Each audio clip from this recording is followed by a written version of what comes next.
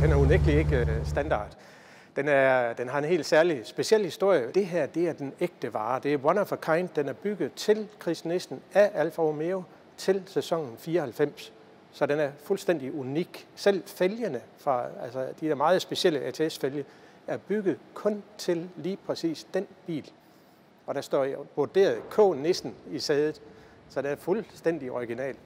Mit navn er Michael Flintholm, og øh, jeg har en Alfa Romeo Q4 155 fra 94.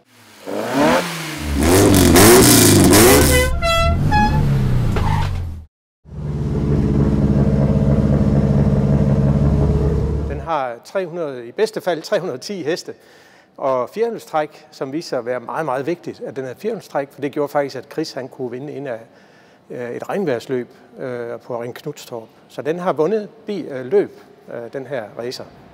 Vi er nogle stykker, som tager ned til Spa og ser 6 hours noget racerløb hvert eneste år, de sidste mange år. Og så så jeg faktisk dernede, at den var til salg, og så ringede jeg over til forhandleren og spurgte, om øh, den stadig var til salg. Øh, jeg synes faktisk, det var spændende på grund af historien. Altså det, for mig er det ikke mekanik og teknik og turbo og træk og hvad ved jeg. Jeg synes, det er det spændende, det er designet og historien bag bilen. Og den her har altså en exceptionel historie. Og så ringede jeg over, og så sagde nej, det var desværre solgt til England i en byttehandel.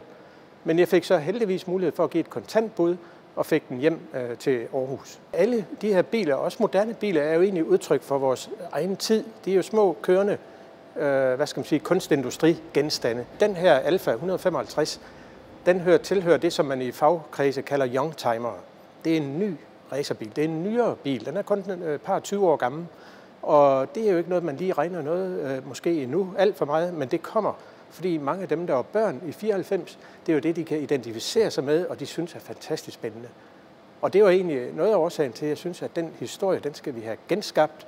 Og der fik jeg så genskabt de originale øh, reklamer, Dalun og ATS og Alfa Romeo osv., og, så videre, og K. Nissen hen af, af, af vinduet så, og grafisk reklame for Fredericia. Så det, synes, det var en, en, en sjov øh, historie. Det var faktisk øh, noget, jeg kom i, jeg opdagede, da, da jeg havde købt bilen der omkring 1. maj i, i 16 her i år. Så tænkte jeg, for søren, grafisk reklame, det var jeg jo en lille del af i, i 94.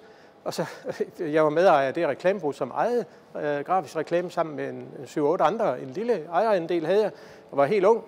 Øh, men jeg kan da huske, at jeg var nede og talte med direktøren ved Grafisk Reklame i 94, og jeg ville jo fortælle om alt det, jeg nu kunne, men han var egentlig meget mere interesseret i at fortælle om sæsonen 94 med Chris Nissen, og det, der nu skulle ske med den her Alfa 155. Så det var lige pludselig et déjà vu tilbage på en par 20 år siden. Så det var jo fantastisk. Så der er mange lag i de forskellige, og det er jo alle biler. Det er jo ikke bare den her. Det er lige når man har et øh, interesse og, en, og dyrker nogle af de her biler, så finder man nogle link, som, som faktisk gør det rigtig spændende. Hele historien med Chris Nissen og lige præcis det, den, det moment, han var inde, der, der synes jeg, at det er værd at, at, at bevare, eller bevare, og i hvert fald at have som en, en del af vores øh, kulturhistorie. Så man kan sige, at det kan da godt, jeg har nu ikke tænkt på, om den stiger gevaldigt. Det er da muligt, den gør, det tror jeg nu ikke, men selvfølgelig har alt, der er historie, øh, det, det er mere spændende end alt, der ikke er historie. Øh, men ikke nødvendigvis investering.